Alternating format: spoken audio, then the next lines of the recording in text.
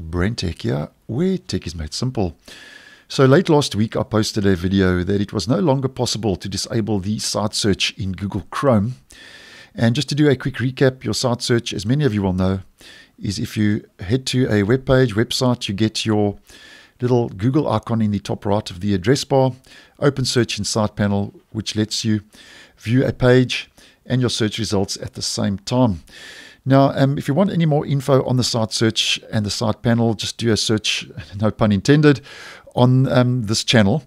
But uh, um, as I mentioned in that previous video, Google had removed the flag um, to disable the side search uh, in the stable version of the Google Chrome web browser for desktop. Now, just a quick video to let you know that, um, as was pointed out to me by a couple of viewers of this channel after posting that video, which I'm actually grateful for because I actually appreciate positive, um, constructive feedback.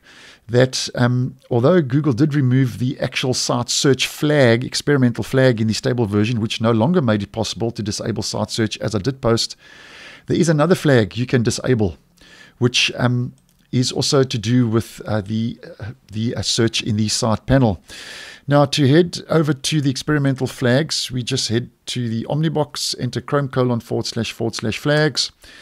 And the new flag to enter now is search web in side panel. So you can just start typing search web. That's enough to bring up the relevant flag. Search web in side panel, and the description reads displays right click search results of a highlighted text in side panel.